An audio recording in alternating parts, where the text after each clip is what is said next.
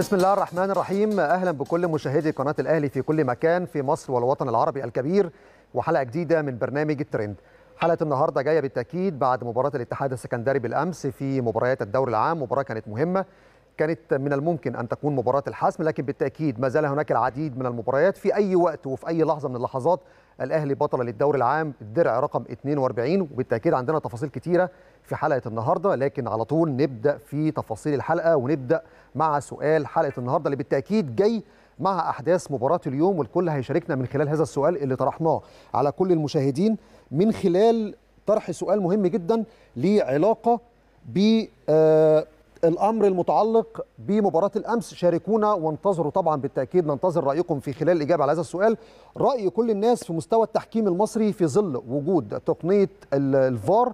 وهل تقنية الفار ساعدت الحكام المصريين خلال الفترة الأخيرة ولا ما زالت هناك أزمات بالنسبة للتحكيم المصري خلال الفترة الأخيرة؟ كل المشاهدين يشاركونا في الإجابة على هذا السؤال من خلال حلقة النهارده من برنامج الترند وبالتأكيد في الفقرة الأخيرة هنعرض كل مشاركاتكم وإجاباتكم على هذا السؤال وبالتأكيد هنشوف آرائكم في مستوى التحكيم المصري بالنسبة للمرحلة القادمة. بالتأكيد سؤال مهم جدا وله علاقة بالأحداث الجارية منذ مباراة الأمس مع الاتحاد السكندري واللي شهدت أخطاء تحكيمية فجه لم يكن يتوقعها أحد خلال الفترة الأخيرة. لكن بسرعة ندخل إلى عناوين الحلقة ونشوف حلقة النهارده من برنامج الترند فيها عناوين بالتأكيد مهمة جدا. نبدأ بأول عنوان ولها علاقة بالتأكيد إن الأهلي بيغلق ملف الاتحاد السكندري وهيبدأ غدا الاستعداد لمواجهة مصر المقصة. ندخل على الترند المحلي مواجهتين في الدوري اليوم مصر المقصة مع إف سي مصر ونادي الإسماعيلي مع المقاولون العرب. ثم الترند العالمي الحكومة الإنجليزية تسمح بعودة الجماهير أول أكتوبر. بالتأكيد دي كانت عناوين حلقة النهاردة من برنامج الترند عناوين لها علاقة بالتأكيد بالأحداث الجارية ومباراة الأمس بالطبع كان فيها تفاصيل كثيرة. بداية الأهلي هو بطل الدوري بإذن الله مفيش أي شك في هذا الموضوع لكن هي المسألة مسألة وقت. ليه مسألة وقت؟ عشان نحسم المسابقة مبكرا ونبدأ نفكر في المسابقة الإفريقية مباراة الوداد المغربي لأن بالتأكيد ده الحدث الأهم بالنسبة للمرحلة اللي جاية بعد موسم طويل وشاق ورغم التحديات لكن النادي الأهلي معود جماهيره إنه هيكون بطل الدوري وبفارق شاسع وكبير عن أقرب المنافسين حتى لو المنافس زي ما قدامكم على الجدول أهو شايف المسا يعني ال... ال...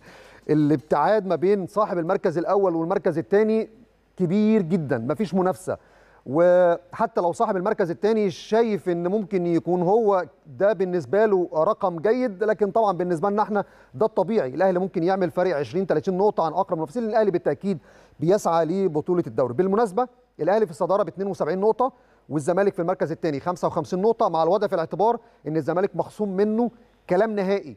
ثلاث نقاط في نهاية الموسم بعد انسحابه أمام النادي الأهلي في لقاء الدور الأول وبالتالي الزمالك عنده منافسة قوية جدا. مع المقاولين وبيراميدز على من سيكون صاحب المركز الثاني تفاصيل أكتر عن ما حدث في مباراة الأمس مباراة الاتحاد والأهلي وبالتأكيد سعي الأهلي لبطولة الدوري ولكن اخرج إلى فاصل وبعد الفاصل عندنا تفاصيل في فقرة ترند الترند مهمة جدا واسمعوها لأن في تفاصيل وكلام مهم بالنسبة للمرحلة اللي جاية.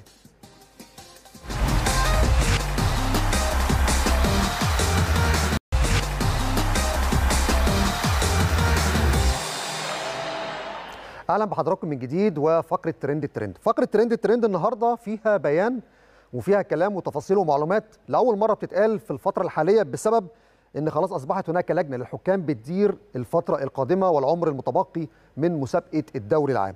يمكن النادي الأهلي أصدر بيان منذ لحظات قليلة. البيان له علاقة بالأحداث التي حدثت بالأمس في مباراة الاتحاد السكندري والأهلي وبالتأكيد كانت مفاجأة بالنسبة لنا الأداء التحكيمي اللي بيحصل في المباريات الأخيرة في ظل وجود تقنية الفار. بيان النادي الأهلي إن النادي الأهلي بيطالب اتحاد الكرة بإيقاف الأخطاء التحكيمية وتحديد معايير واضحة لاختيار الحكام بالنسبة للمرحلة القادمة. أرسلت إدارة النادي الأهلي خطابا لاتحاد كرة القدم تطالب فيه بإيقاف الأخطاء التحكيمية غير المبررة والتي تشهدها مباريات الأهلي في بطولة الدوري مثل ما حدث في المباراة الأخيرة والتي ارتكب خلالها الحكم أخطاء فجة أثرت على نتيجة المباراة.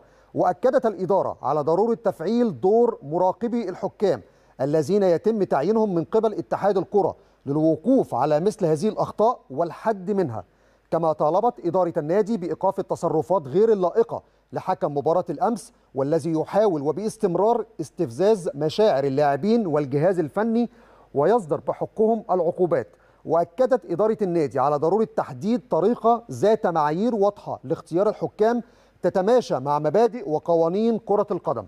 وجاء في خطاب النادي للاتحاد اليوم أن الحكم الذي أدار مباراة الأمس يدير المباراة الرابعة للأهلي هذا الموسم والثانية خلال 12 يوم في حين أن الحكم المصنف رقم واحد لم تسند إليه إلا مباراة واحدة للأهلي كما أن لجنة الحكام جاءت بالحكم الكرواتي إيفان بيبك لإدارة مباراة القمة بالرغم من استبعاده من حكام النخبة A في أوروبا واستبعاده من قبل لجنة الحكام بالاتحاد السعودي بسبب أخطائه الفجة.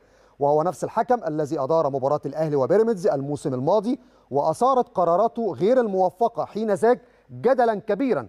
وللأسف جاءت لجنة الحكام بذات الحكم ليرتكب نفس الأخطاء في حق الأهلي والتي تخالف جميعها قانون كرة القدم. وشددت إدارة النادي على ضرورة إرساء العدالة بين الأندية المتنافسة والالتزام بمبادئ وقوانين كرة القدم. بيان كان واضح وصريح ومحدد في أهدافه من إدارة النادي الأهلي بعد الأخطاء التحكيمية الفجة اللي كانت موجودة في مباراة الأمس واللي كان بطلها الحكم إبراهيم نور الدين. عشان أشرح لكم التفاصيل وزي ما أنتم قدامكم أهو بيان النادي الأهلي في على الشاشة أقول لكم الدنيا ماشية إزاي في لجنة الحكام. لجنة الحكام حاليا بتشكيلها الجديد برئاسة الكابتن وجيه أحمد. لكن في جزئية مهمة جدا بعد ما قرينا البيان. عايز اتكلم في جزئية ليها علاقة بقى بإدارة لجنة الحكام في الفترة الأخيرة. أنا مش هتكلم على أخطاء تحكيمية فاول ضربة جزاء حكم الفار خلاص المحللين اتكلموا والناس سمعت امبارح كل الناس قالت أراها في هذا الموضوع. لكن أنا عندي تفاصيل ومعلومات في كيفية إدارة اللجنة والمعايير اللي النادي الأهلي كان بيسأل عليها دلوقتي وبيسأل اتحاد الكرة كيف يتم إسناد هؤلاء الحكام لهذه المباريات وفين الحك... الحكم المصنف رقم واحد. اولا القرار الأول والأخير في اختيار الحكام لمباريات الدوري ليس قرار الكابتن وجيه أحمد. ممكن البعض يقول لي أمال هو قرار مين؟ أقول لك قرار الحكام أنفسهم. كابتن إبراهيم نور الدين هو اللي اختار مباراة الأمس وفي خناقة حاليا على مباراة الأهلي وبيراميدز وفي حكام بالاسم بيختاروا مباريات الفترة الأخيرة. البعض يقول لي إزاي؟ ده في لجنة وفي رئيس وفي سكرتير وفي أعضاء. لا هقول لك كمان أكبر دليل على ده. عندك حكم زي الحكم محمد الصباحي. أنا هديك مثال عشان أوريك اللجنة كيف تدير الأمور في الفترة الحالية. عندك حكم زي الكابتن محمد الصباحي. حكم درجة أولى عنده مشوار طويل في الدوري العام وعنده خبرات كبيرة. كان عمل عملية غضروف من فترة قريبة فبالتالي مش هيقدر يكون جاهز لإدارة مباريات في الملعب. لكن كان عنده عدد ساعات وقت معينة كانت ناقصة في إن هو عشان ياخد رخصة الفار. في إحدى الاجتماعات الأخيرة في تقييم الحكام وده بيتم أونلاين ما بين رئيس اللجنة مع كل الحكام اللي بيديروا سواء في الدوري الممتاز أو حكام تقنية الفار. الكابتن محمد الصباحي اتكلم مع الكابتن وجيه أحمد وكان بيتكلم بحدة إزاي أنا مش موجود ضمن حكام الفار. آه أنا عندي آه إصابة ولسه راجع ومش جاهز إن أنا أبدأ أحكم مباريات في الملعب لكن أنا فين من حكام الفار؟ إزاي حسام عزب حجاج ابن الكابتن عزب حجاج ما بيديرش مباريات في الدوري وخد رخصة الفار؟ إزاي عمرو الشناوي ابن نج... نجل الكابتن أحمد الشناوي ما بيديرش مباريات في الدوري العام وخد رخصة الفار؟ إزاي خالد جمال الغندور نجل الكابتن جمال الغندور ما بيديرش مباريات في الدوري الممتاز ومع ذلك خد رخصة الفار؟ وأنا محمد الصباحي اللي أدرت مباريات في الدوري العام مش عارف آخد رخصة الفار. على طول الكابتن وجيه. عشان هو هنا في وقتها لا الكابتن الصباحي بيزعق وبيتكلم في حقه راح خصص له نص ساعة في إحدى الملاعب عشان يكمل عدد ساعات الزمن وياخد الرخصة. بالمناسبة لو عمل ده لكل الحكام اللي كان ناقص لهم عدد ساعات معينة كنت أقول مفيش مشكلة. لكن هنا واحد طالب بحقه وكان صوته عالي في الاجتماع فخد حقه. اتعمل له نص ساعة في ملعب وخد رخصة الفار وهيكون موجود. لكن في الأساس مين الحكام اللي موجودين في غرفة الفار؟ هل هم حكام بيديروا مباريات في الدوري فعندهم خبرة عشان يبقوا موجودين في رخصة الفار؟ لا. ليه؟ اشمعنى؟ فين الحكام اللي موجودين في غرفة الفار اللي هم عندهم خبرات كبيرة وخبرات مميزة. ليه الحكام الدوليين عددهم قليل في غرفة الفار؟ فين وفين لما بنلاقي حكم دولي في غرفة الفار؟ هم فين؟ ليه هم مش موجودين؟ عشان دايما بيطلبوا إدارة مباريات في الدوري. البعض يقول لي طب إيه الهدف إن الكابتن إبراهيم نور الدين يطلب يدير مباراة الأهلي والاتحاد؟ وإيه الهدف إن في خناقة على مباراة الأهلي وبيراميدز؟ وأمين عمر عايز يديرها من دلوقتي والمباراة لسه قدامها حوالي شهر ونص ولا شهرين. ليه؟ أنت داخل على قائمه دولية. كل حكم دلوقتي بيحاول ياخد أكبر كم من المباريات عشان يوصل لتارجت معين عشان التقييم الفني يسمح له إنه يكون مرشح دولي الفترة اللي جاية. طب اللجنة هنا دورها إيه؟ اللجنة ملهاش دور. أي حكم عايز يدير مباراة بيقدر يدير. الكابتن وجيه مش صاحب الكلمة الأولى في إدارة عمل لجنة الحكام الفترة الأخيرة. بدليل إن إبراهيم نور الدين من 10 أيام كان بيدير مباراة الأهلي والجونة وقبلها كان عنده مشكلة تحكيمية في مباراة الحرس والإسماعيلي. ألف بتقييم فني. لو هنتكلم عن دور المراقبين وده كلام هيجي وقته دلوقتي لأن بيان الأهلي اتكلم عليه. ألف ب إن المراقب اللي بيكون موجود في المباراة بيقول الحكم ده أجاد ولا لم يجيد؟ الدرجة اللي بياخدها. ولو درجته مش كبيرة بيتم ابتعاده فترة قريبة. لكن مع ذلك كان موجود في مباراة الحرس والإسماعيلي وما شهدتها من عدد من كبير جدا من ضربات الجزاء وكانت أخطاء تحكيمية كبيرة جدا. ومع ذلك تواجد في مباراة الأهلي والجونة. حدثت أخطاء تحكيمية وكان عنده إصرار إن يدير مباراة الاتحاد والأهلي. ليه عنده إصرار؟ لأن الكل في الاستوديوهات التحليلية اتكلم على الكابتن إبراهيم إنه إزاي ما حسبش فاول على أحمد فتحي في نهاية المباراة. إزاي ما اداش فرصة لنادي الجونة في كورة كان شايفها إن هو كان ممكن تتحسب فاول وردت للأهلي في هدف كان هدف الفوز على نادي الجونة. فبالتالي الكابتن إبراهيم نور الدين كان عنده إصرار ان يدير هذه المباراة سريعا عشان يمحي الصورة اللي كانت موجودة قبل كده. عشان كده كان عنده تعمد إن يكون في قرار تجاه أحمد فتحي. كل حكم لما بيكون بيدير مباراة عارف هو بيحكمها إزاي. الكابتن محمود عاشور بنفس المعيار مع جونيور أجاييه في الدقيقة 25 في مباراة الإسماعيلي ما حسبهاش فاول على لاعب الإسماعيلي وهو عامل double kick والمفروض أجاييه كان طالع في الارتفاع العالي وبيلعب الكرة برأسه. اتحسبت فاول على أجاييه. بنفس المعيار ده اتحسبت ضد الأهلي ركلة جزاء. في مباراة الاتحاد السكندري. وبالمناسبة ألف مليون سلامه على محمود رزق مدافع نادي الاتحاد السكندري. ألف مليون سلامه عليك. فبالتالي في مشاكل في التحكيم كبيرة جدا في الفترة الحالية. مين صاحب الكلمة؟ مش معروف. الحكام بيختاروا مباريات. عندهم قائمه دولية. كل حكم بيصارع عشان يختار مباريات الفترة الجاية. وفي النهاية اللجنة ما عندهاش استراتيجية لتصعيد حكام واعدين الفترة الجاية. عشان كده ما عندكش حكم بيختار من ضمن الحكام الواعدين في الاتحاد الإفريقي في الكورس اللي هيتعمل في شهر 11 انت ما عندكش حكم واعد. ليه؟ لأن ما فيش لجنة بتدير صح. لأن كل حكم صاحب صوت داخل اللجنة بياخد المباراة اللي هو عايزها. آخر حاجة بيان الأهلي اتكلم على موضوع المراقبين. لجنة الحكام منذ أن تم تشكيلها وتعيينها برئاسة الكابتن وجيه أحمد ما بتعلنش مين حكام أو مين مراقبي حكام المباريات. ليه؟ لأن لجنة الحكام شريك أساسي في مراقبة مباريات الدوري العام. حتى لما بيتم اختيار مراقبين لمباريات الدوري بتروح تجيب رؤساء مناطق لأسباب انتخابية في الفترة اللي جاية. عندك الحكام اللي بيديروا مباريات واعتزلوا هم فين من المراقبة؟ فين محمد عبد القادر مرسي؟ فين شريف رشوان؟ فين باقي الحكام اللي كانوا دايما موجودين في الدوري الممتاز مش موجودين دلوقتي في المراقبين؟ انت بتجيب رؤساء مناطق لأسباب انتخابية الفترة الجاية بتحطهم في المباريات عشان يديروا. وانت كلجنة المفروض انت بتراقب على الحكم وانت اللي بتعينه انت اللي بتحط نفسك مراقب على اختيارك. ده إزاي؟ فبالتالي في مشاكل في موضوع اختيار المراقبين في مشاكل في صاحب القرار في موضوع تعيين الحكام والحكام أنفسهم عندهم مشاكل الفترة الحالية في بعض اللعبات داخل المباريات وفي أزمة أيضا موجودة في تقنية الفار. عموما أزمة كبيرة ولازم اللجنة الخماسية تاخد بالها ولو في عضو في اللجنة الخماسية مشرف على هذا الملف حط هذا الملف في عينك كويس قوي لأن الملف ده هيسبب أزمات. الدوري خلصان والأهلي بطل لكن لسه كأس مصر لسه السوبر لسه الموسم اللي جاي. يا لجنة ده أنت رحت جبت حكام مباراة الأهلي والزمالك اللي موجودين في الفار مش حكام دوليين رحت جبت حكام درجة أولى. هل ده يليق؟ هل ده يليق بلجنة عايزة تدير الكرة المصرية بشكل احترافي الفترة الجاية؟ الأهلي بيظلم ظلم بين منذ أن تم تجهيز تقنية الفار الفترة الأخيرة وبأعين تقنية الفار نفسها في المباريات الأخيرة والحكام عارفين ما بيحسبوش رغم إن الصورة واضحة. عموما أروح لحاجة تانية في ترند الترند خبر مهم جدا معانا وهو ليه علاقة بالمباريات القادمة في الدوري دوري أبطال إفريقيا. وكان لنا السبق دايما في هذا الملف معاكم والنهاردة معانا سبق أيضا وإحنا بنعرض لكم جدول مباريات دوري الأبطال والكونفدرالية بالملاعب وبالتوقيت وبالزمن. 17 أكتوبر الوداد والأهلي في مركب محمد الخامس في كازابلانكا. الرجاء والزمالك يوم 18 أكتوبر أيضا في مركب محمد الخامس بكازابلانكا. مباريات الإياب 23 أكتوبر الأهلي والوداد على استاد برج العرب بالإسكندرية. 24 أكتوبر الزمالك والرجاء على استاد برج العرب بالإسكندرية. 6 نوفمبر الفائز من نصف النهائي الأول ونصف النهائي الثاني وسيكون تحديد الملعب بالقرعة في الفترة القادمة إن لم يكن هناك ملعب محايد. semi final الكونفدرالية نهضة بركان حسنيه أغادير في مركب محمد الخامس في كازابلانكا 19 أكتوبر.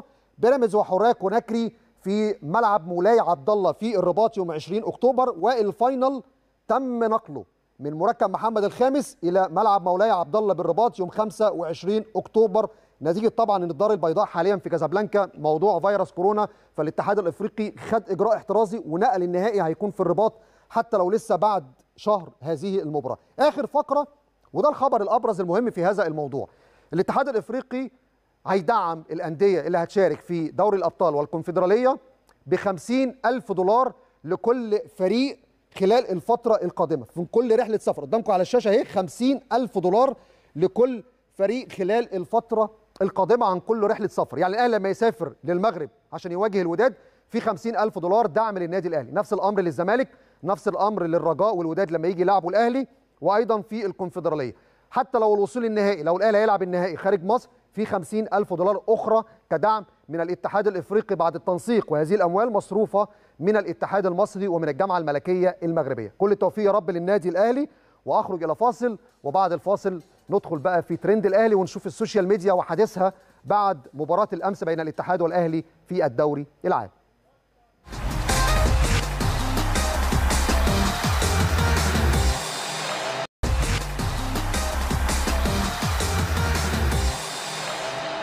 أهلا بحضراتكم من جديد وفقرة ترند الاهلي واللي موجود على ال social media من امبارح بالتأكيد الناس كلها بتتكلم على التتويج ومباراة الاتحاد والاهلي والأخطاء التحكيمية واللي شرحنا تفاصيل وكواليس من أداء عمل لجنة الحكام الفترة الأخيرة. لكن نبدأ بسرعة من عناوين ترند الاهلي وأول حاجة معانا من الصفحة الرسمية للنادي الاهلي وقدامنا على الشاشة.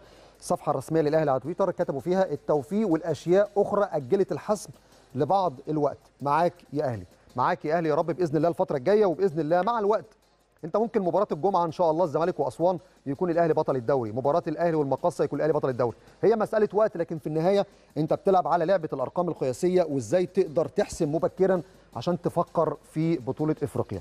نروح على طول للصفحة الرسمية ليلا كورة على الفيسبوك واللي قالت قطار الأهلي يتوقف قليلا في محطة الاتحاد السكندري ويؤجل الحسم للمباراة القادمة. وكتيبة الأهلي والقطار وفي طبعا لاعبي النادي الأهلي مع رينيه فايلر السويسري. أيضا كمان من الصفحة الرسمية للنادي الأهلي آه على الفيسبوك وكلموا على الشناوي محمد الشناوي حارس مرمى النادي الأهلي وقال آه يستمر بالحفاظ على شباكه نظيفه الإخطبوط يستمر في التألق ويتصدر كل المشاهد. كانت مباراة عظيمة لمحمد الشناوي بالأمس وبيواصل مسلسل التألق في خلال الفترة الأخيرة في الدوري. أحسن حارس في الدوري المصري أحسن حارس في مصر. الحارس الجدير بقيادة المنتخب الوطني في الفترة القادمة. تتكلموا في أقل أو من حوالي 20 مباراة كلين شيت الفترة الأخيرة ومش بيتصدى وكمان بيصنع أهداف فموسم ولا أروع النجم كبير زي محمد الشناوي. كمان من الحساب الرسمي لموقع في الجول على تويتر واللي نشروا فيه إحصائيات لمحمد الشناوي بوصوله لمباراته رقم 20 بدون تلقي أي أهداف. زي ما قلت لكم 20 مباراة clean sheet 26 مباراة في الدوري 20 مباراة شباك نظيفة و8 آه، أهداف اهتزت شباكه خلال المباريات المتبقية. طيب بنكمل معاكم ونشوف برضو من خلال ال social media صفحة الأهلي اليوم من الصفحات الجماهيرية للنادي الأهلي واتكلمت على محمد الشناوي وقالت حارس كبير جدا وهو واقف كلنا عارفين مالي مكانه وإنه جيد بالقدر الكافي لحراسة مرمى الأهلي. الشناوي اجتهد وتعب عشان يبقى حارس الأهلي الأول ومنتخب مصر ولكل مجتهد نصيب. وحاليا وعن جدارة هو الأفضل بفرق شاسع عن أقرب منافسيه وكفاية إننا في أي انفراد أو كرة خطرة بقينا بنشعر بالثقة في إنه يحاول بكل جهده فيها. إن شاء الله التوفيق للشناوي الفترة الجاية ولسه عندنا كمان مباريات أهم وأقوى مباريات البطولة الإفريقية مع نادي الوداد المغربي. صفحة ماجيكانو أيضا كمان على الفيسبوك أشادت بمحمد هاني وقالت لقطة مضيئة لمحمد هاني بالمناسبة الكرة دي كانت هتبقى شبه انفراد لكن محمد هاني عمل يعني تغطية عكسية بشكل مميز جدا وقدر يقفل الزاوية بسرعة ويمرر الكورة قبل ما ينفرد بيها مدافع أو مهاجم. نادي الاتحاد منفردا بمحمد الشناوي. صورة لرينيه فايلر. رينيه فايلر المدير الفني السويسري من خلال صفحة في الجول على الانستجرام كتبوا فيها إن دي للمرة الأولى مع فايلر لا ينجح الأهلي في تسجيل هدف في الدوري. لما بتتكلم في إحصائيات ممكن تقول في فريق يعني قدر يخرج تعادل قدر يكسب مباراة كسب مباراتين وخسر مباراة. لكن الأرقام القياسية والاحصائيات دي مش هتلاقيها إلا في النادي الأهلي. عشان كده برضه أنا بستغرب لما بيطلع المنافس أو المسؤولين في الأندية الأخرى أو في المركز الثاني يطلع يقول لك إيه؟ آه النادي الأهلي السنة دي خسر آه بطولة واثنين وثلاثه وأربعة. يا أخي يا أخي بص فرقتك وشوف مشاكلك فين ده أنت بعيد عني ب 20 نقطة. هو أنتوا بترسخوا مبدأ جديد إن اللي في المركز الثاني بعيد عني ب 20 نقطة يبقى هو البطل واللي في الصدارة بعيد ب 20 30 نقطة هو اللي عنده مشاكل. يا راجل صلى على النبي. طيب نكمل مع بعض وصوره عظيمة لرينيه فايلر من خلال صفحة في الجول لكن الصفحة الرسمية للأهرام سبورت بالتأكيد بتتكلم على علي لطفي وحارس الأهلي يطمئن الجميع على حالته بعد إصابته بفيروس كورونا. طبعا ألف مليون سلامة على علي لطفي وياسر إبراهيم وديفيد سيزا مدرب النادي الأهلي ألف مليون سلامة عليهم بالطبع في مباراة مهمة جدا مع المقصة يوم السبت اللي جاي. هيكون في مسحة كورونا غدا إن شاء الله. الجهاز الفني باللعيبة كله بالتأكيد هيحاول يعمل المسحة الطبية للاطمئنان على حالة الجميع. وإن شاء الله بإذن الله أيام قليلة جدا. ويعود علي لطفي وياسر إبراهيم وديفيد زيزا إن شاء الله الفترة الجاية عشان نطمئن على صحتهم. وبإذن الله الفترة الجاية تكون أفضل. وبنتمنى يا رب السلامة للجميع سواء في الأهلي أو حتى في كل الأندية المصرية. طب الحساب الرسمي لسوبر كورة على الفيسبوك قالوا فيه إن الأهلي بيغلق ملف الاتحاد السكندري. ويبدأ الاستعداد لمواجهة المقصة. بكرة التمرين إن شاء الله هيكون الساعة 4:30 العصر على ملعب مختار التتش. هيكون الاستعداد بقى الجاد لمباراة مصر المقصة. عندك الأربع تمرين الخميس تدخل معسكر يوم الجمعة والمباراة إن شاء الله يوم السبت الساعة 8 بإذن الله على استاد القاهرة. صفحة الوطن سبورت بيتكلموا على بقى كيف سيتعامل فايلر مع مباراة المقصة في ظل إن في غيابات عديدة. بيتكلموا إن فايلر هيستعين بحمدي فتحي لحل أزمة الدفاع وبيجهز اليو ديانج. انت عندكم غيابات. خط الدفاع في مباراة المقصه أحمد فتحي ليه الانذار الثاني والطرد. رامي ربيعة هيعمل أشعة النهارده عشان نطمن على سلامته وعنده شد في العضلة الخلفية. إن شاء الله تكون إصابة خفيفة. ما تاخدش منه مساحة وقت بإذن الله ويرجع بسرعة. عندك محمود متولي عنده رباط صليبي. سعد سمير غير مقيد. وياسر إبراهيم مستبعد بالتأكيد بسبب موضوع فيروس كورونا فبالتالي ما عندكش غير أيمن أشرف. الوطن سبورت بيتكلم بقى كيف سيتعامل فايلر مع مباراة المقصه وسد الثغرات بسبب الغيابات الكبيرة في خط الدفاع. هيكون موجود بالتأكيد حمدي فتحي اليو ديانج في خيارات عديدة بالنسبة للمرحلة الجاية لكن إن شاء الله فرقة الأهلي عندها كم كبير جدا من اللاعبين ونقدر نتخطى هذا الظرف في ظل الغيابات العديدة. آخر حاجة معايا من صفحة الأهلي الكرة الطايرة. صفحة ال volleyball بيتكلموا على بعد ما الفريق فاز بدوري الكرة الطايرة للمرة ال 32 في تاريخ النادي تتويج ال masters. وطبعا أنت بتتكلم على فريق الأهلي للكرة الطايرة بطل الدوري. أنت بتتكلم على نجوم الصالات أبطال الصالات ألعاب الصالات. تلاقي الأهلي في الطايرة واخد دوري وكاس سواء رجال أو سيدات. تلاقي الأهلي في السلة بيوصل للمراحل النهائية مع الاتحاد السكندري. تلاقي الأهلي في كرة اليد بينافس حتى الرامق الأخير والمركز الأول لغاية المباراة الأخيرة في منافسة مع الزمالك. وبالتالي انت عندك فريق ال masters عندنا في ألعاب الصالات النادي الأهلي بيحقق كل الألقاب. في ناس تانية بعيد عن كل ده لكن بتحاول تصدر الوهم إن هم أبطال الصالات وهم في النهاية بعيدين كل البعد عن المراحل النهائية. المشهد الطيب اللي في الصورة دي وده أهم صورة ممكن نتكلم فيها إن لاعبي فريق الأهلي للكرة الطايرة بعد الفوز بالدوري بيدعموا مؤمن زكريا من خلال هذه الصورة الرائعة. وكل لاعبي النادي الأهلي وكل الألعاب داخل النادي الأهلي في رسالة دعم قوي جدا لمؤمن زكريا خلال الفترة اللي جاية. دي صورة عائلة الأهلي داخل النادي الأهلي.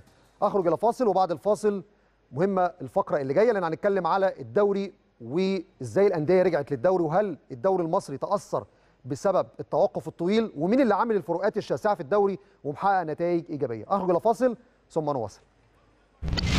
الله عليك يا شناوي على التألق ناوي. ناوي.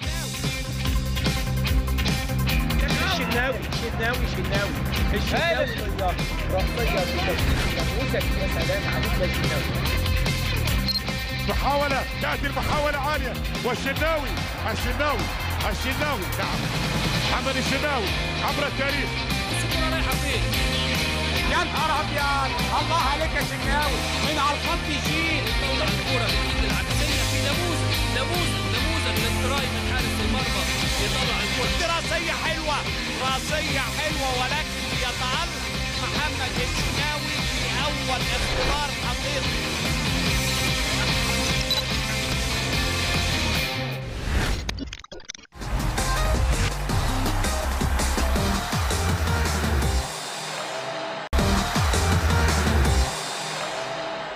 أهلا بحضراتكم من جديد وفقرة trend online اللي بنتكلم على الدوري المصري وبعد عودة الدوري المصري هل التأثير الكبير بسبب انتشار فيروس كورونا والتوقف الطويل أثر على الأندية؟ أثر على اللاعبين؟ أثر على الأجهزة الفنية؟ النتائج؟ الأداء؟ آه، إحصائيات المباريات الفترة الأخيرة؟ كل ده بالتأكيد هيكون محور حديثي حاليا مع الأستاذ أيمن محمد محلل الأداء وبالتأكيد أحد الناس المهتمة جدا بفكرة التحليل والسكاوتنج والأداء الرقمي بالنسبة لمباريات الدوري العام والكرة المصرية تحديدا وهنعمل مقارنات مع كمان دوريات أخرى اللي تمت خلال الفترة الأخيرة. لكن في البداية برحب بالكابتن والأستاذ أيمن محمد. مساء الخير يا أيمن. مساء الخير يا محمد ومساء الخير على كل مشاهدي قناة الأهلي العزيزة. أهلا بيك. مبروك طبعا الترند وبرنامج موفق و... الله يخليك. ودايما دايما إطلالة مميزة ليك يا محمد وأنت من الناس المجتهدين جدا. الله يخليك يا أيمن. ميرسي لذوقك. جدا جدا جدا في البرامج اللطيفة ال- الخاصة بيك يعني. طيب ندخل بسرعة في تفاصيل الموضوع وإحنا خلاص بنقترب من انتهاء المسابقة بإذن الله في نهاية شهر أكتوبر لكن اتلعب ما يقرب من حوالي 10 11 مباراة. شايف الدوري المصري أداء الفرق التحليل الرقمي السكاوتنج تحديدا بعد التوقف الطويل. الدوري المصري إلى أين؟ ومين أكتر الفرق اللي تقدر تقول يعني تغلبت على آه، التوقف الطويل اللي كان موجود الفترة الأخيرة؟ طيب خلينا نوضح للسادة المشاهدين آه، آه، فكرة بسيطة جدا عن الدوري المصري أو عن الأفكار اللي موجودة في الدوري المصري بشكل عام. قبل الكورونا واستمرت بعد الكورونا الدوري المصري بيعتمد آه، يا محمد وبرضو موجودين في الاستوديوهات التحليلية برضو يقدروا ياكدوا لنا الكلام دوت الكرة طبعا إحنا بنتكلم دايما على فكرة الأربع مراحل اللي في كرة القدم سواء الهجوم سواء الدفاع أو التحولات من الدفاع للهجوم ومن الهجوم للدفاع. تمام. آه، أنا مش قدامي إحصائية بس أنا عايز أقول لك بمجرد النظر كده لو أنت رجعت هتلاقي مثلا إن الكرات الثابتة اللي ليك أو اللي عليك بتبقى أقل من أقل من أقل الدوريات اللي فيها استغلال الكرات الثابتة سواء الضربات الحرة سواء الضربات الركنية. مفيش جمل خداعية. آه، برضو فكرة التحولات أنت دايما بتتكلم على ال- الهجومات أو الهجوم المنظم. أنت معتمد أكتر في ال- الكرة المصرية عموما في الدوريات على التحول. مفيش. عندك لعب منظم أو مفيش عندك هجوم منظم.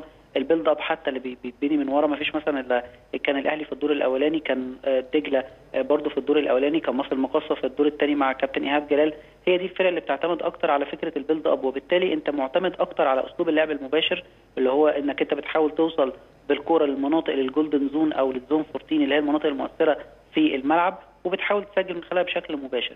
في المقابل الفرق اللي هي أو أغلبية الفرق اللي بتلعب قصاد الفرق الكبيرة أو حتى آه، بتلعب خارج أرضها بيبقى همها دايما أو بيبقى الفكر بتاعها إن أنا داخل المباراة وأنا معايا point مش عايز افرط فيه. فبيبتدي يعتمد على فكرة التحولات إن أنا دايما بلعب 4 5 1 بتشكيلاتها بقى المختلفة سواء 4 2 3 أو 4 3 2 1 آه، وأبتدي أعتمد أكتر في, في الأكثرية يعني على فكرة التحولات. فاذا إحنا بنتكلم على الكرة المصرية هي لعبة مم. تح- أو إحنا معتمدين في الدوري المصري بشكل كبير جدا جدا جدا على التحول من الدفاع للهجوم أو من الهجوم للدفاع لو انت بتحاول آه، تنقذ مرماك أو انك انت تحاول آه، تحمي مرماك آه، من ال- ال- الهجمات المرتدة.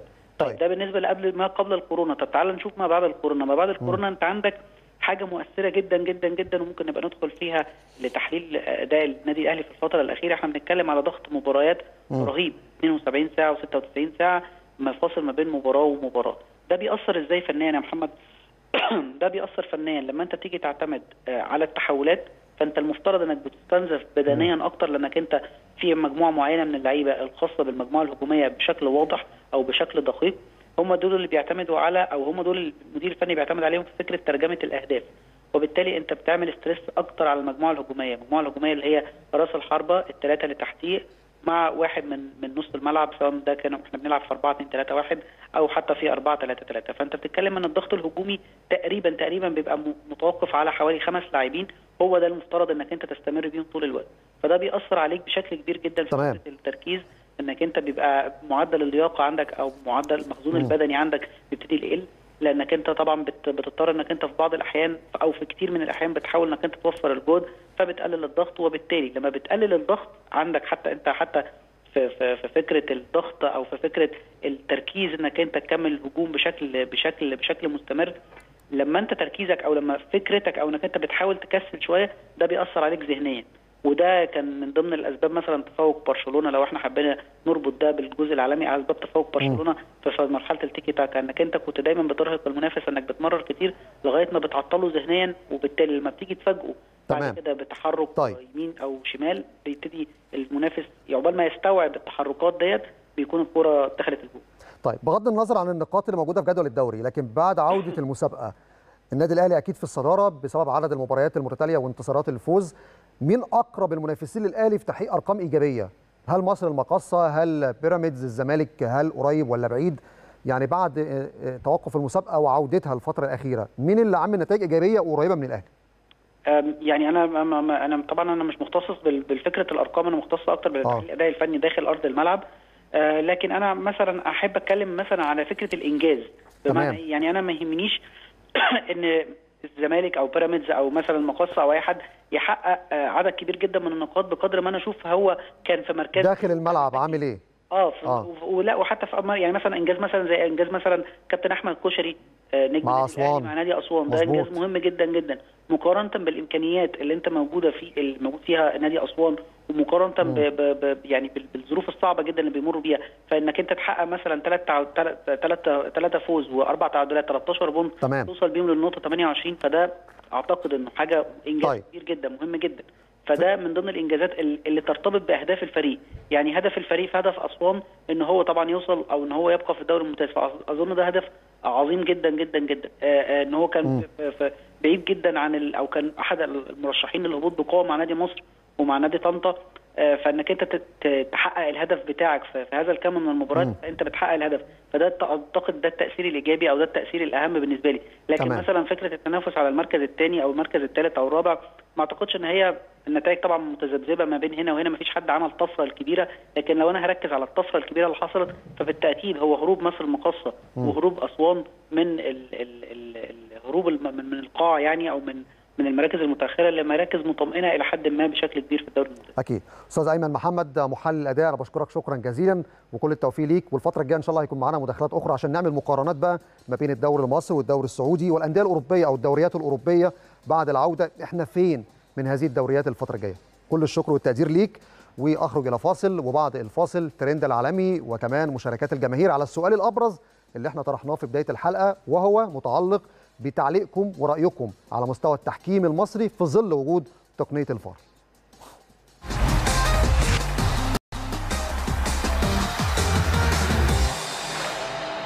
أهلا بحضراتكم من جديد والفقرة الأخيرة وقتنا بيجري معاكم بسرعة لكن بالتأكيد بنبقى سعداء ووجودنا معاكم لأن هنتكلم في الفقرة الأخيرة على الجماهير. الجماهير النهارده دخلت وشاركت معانا في السؤال الأبرز اللي إحنا طرحناه على توقعاتكم ورايكم بشكل عام في التحكيم المصري بعد وجود تقنية الفار؟ هل التحكيم بخير؟ هل في أزمات تحكيمية موجودة؟ هنعرض مشاركات الجماهير ونشوف الناس رأيها إيه في هذا الملف. نبدأ في أول حاجة بتعليق من محمد فتحي بيقول في حكام بتستغل تقنية الفار حسب اهواها وفي من يستغل التقنية بطريقة احترافية وهم قلة. من الممكن يكون هذا لعدم الرقابة أو الخبرة أو عدم الدراية الكاملة بالقانون والله أعلم بما في الكواليس. حسن أحمد بيقول والله حرام امبارح كان في ضربة جزاء للأهلي وإبراهيم نور الدين مش حاسبها. والموسم الماضي في ماتش الأهلي والإنتاج كان في ضربة جزاء لوليد أزارو مش حاسبها. قرارات ظالمة أهلاوي. ضربة جزاء وليد أزارو دي من اللعبات اللي تدخل في موسوعة جينيس. إسماعيل شاهين قال التحكيم سيء وبطيء وبيطولوا كتير قوي في اتخاذ القرار وحسب مزاجهم وانتماءاتهم بيحسبوا ضربات الجزاء. نشوف مشاركات أخرى. بن الضفراوي قال مساء الخير على كل أهلاوي جميل. أعتقد إن تقنية الفار استخدامها في مصر سيء لأن كل كورة الحكم بيفضل واقف دقيقتين أو خمس دقايق وده بيضيع وقت أكتر من اللعيبة بتاعة الخصم بتضيعه. وأتمنى نركز على إفريقيا بقى لأن الدوري محسوم. أحمد السروجي بيقول هناك أخطاء في قرارات غرفة الفار وتعنت تجاه بعض الأندية ولكن قد يكون حقق نوعا ما من العدالة. مروان محمد بيقول في حكام حلوة وبتعرف تستخدمه كويس وفي حكام عايز تدرب عليه تاني عشان بيتحكموا أو بيحكموا وحش فيه. آخر آراء معانا محمد ثروت بيقول لا تعليق. أحمد إبراهيم كمال بيقول غير جيد. مبارك سمير بيقول للأسف الشديد نظام فاشل. زي ما شفتوا دي تعليقات الناس على السؤال اللي طرحناه بخصوص رأيكم في التحكيم. وده بيأكد على فكرة البيان اللي صدر من النادي الأهلي قبل لحظات واللي بدأنا بيه حلقة النهارده وكشفنا من خلاله المشاكل التحكيمية إيه. الأهلي بيطالب اتحاد الكرة بإيقاف الأخطاء التحكيمية وتحديد معايير واضحة لاختيار الحكم. إدارة النادي الأهلي أرسلت خطاب لاتحاد الكرة بتطلب فيه إيقاف الأخطاء التحكيمية غير المبررة والتي تشهدها مباريات الأهلي في بطولة الدوري مثل ما حدث في المباراة الأخيرة والتي ارتكب خلالها الحكم أخطاء فجة أثرت على نتيجة المباراة. فعلوا دور المراقبين اختاروا حكام مميزين اشتغلوا على حكام جيدين بيحكموا في الملعب يكونوا موجودين في حكام الفار ما يكونش أبناء عاملين عشان المنظومة تبقى ماشية بشكل محترف. شكرا لحضراتكم على حسن المتابعة والمشاهدة ونلتقي على خير بإذن الله في حلقات أخرى قادمة.